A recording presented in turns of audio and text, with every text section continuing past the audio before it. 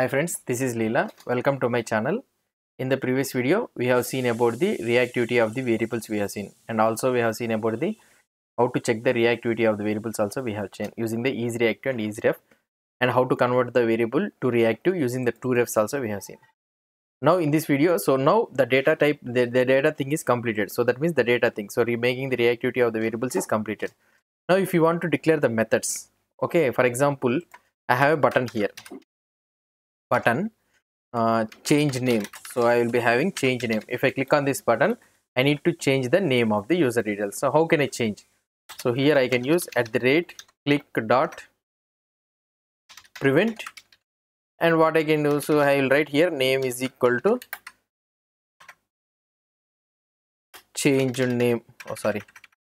Name is equal to I will use something like changed name. Okay? I will use something like that okay i have given the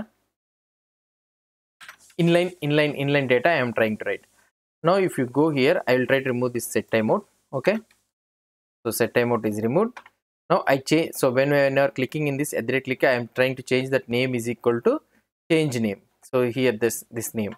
Now if you try to check the output here so refreshed nothing will be changed here. Why? Because i have removed the set timeout and if i click here the name has been changed to change name. So that means if I write here the variables if I try to change in the template it is changing. But now we already know that this is not the correct way to correct way of writing the methods so we need to we will be writing the logic in the uh, view uh, the JS, JS side. So by declaring the method name we will be writing like that right? So we'll try to do like that. Change name. Okay? We are calling the method. So this change name method how we can declare it here? Now let's try to see here I will remove these all the things okay? I am removing this user refs also I am removing. So I am removing this toRefs and I am removing this is is reactive and all those things okay? So this is the basic thing. Now what I can do is so here how we how we can mention is function change name. Inside the setup we need to write function change name okay? The function change name so inside this function change name we need to change. So here what how I can change? User details. I can directly access this user details here. And user details dot what is the name of that one? Name is equal to what I can write here? Modified Leela or anything whatever the name you want you can write it. Now somehow I need to relate this name. Somehow I need to relate this change name to the here. So how somehow i need to relate this name. I need to use this method name here into into the top. So how can i use this one? So this change name this change name will will will it be uh, communicated? So will it be, will it be will it be matched or not? So now no, it will be not matched. So somehow i need to send this function change name to here. How can i change how can i send this? This is the return thing. So how can i use here? I can write here change name the met the name and also the name of the function. So remember that you should not use the parenthesis, you should pass the reference. This change name I can send it here. If the key value and the value, if the key and the value both are same means you can write the ES6 shorthand notation like this. This change name automatically refers to this change name. Okay, now if I try to see, here it is user refs is not defined. Okay, let's try to remove this user refs. So we have removed everything.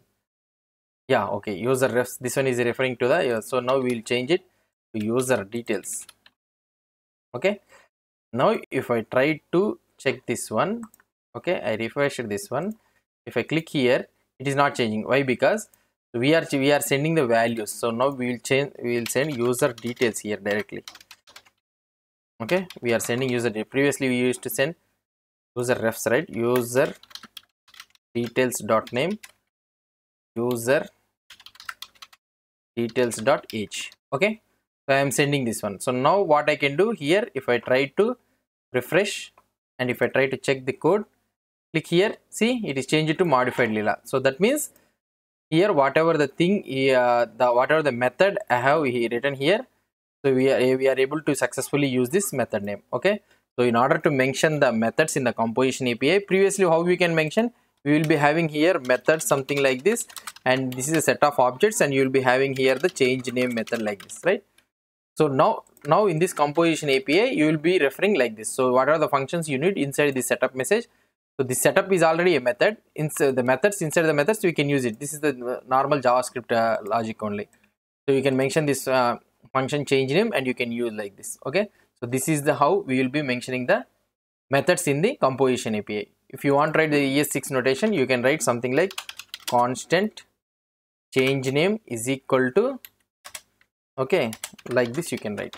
This is also this is also valid one only. This this is also valid one. You can use this one also. Now if i try to check the output here now if i try to check the output if i if i click here see now also i am able to change the output. So anyways you can use so shorthand notation you can use this function change name directly you can use that one instead of like that. Okay? So this is how you'll be declaring the methods in the composition api if you have any doubts or any suggestions please post the comments below to this video. And if you like this video please do support me by subscribing to my channel. Thank you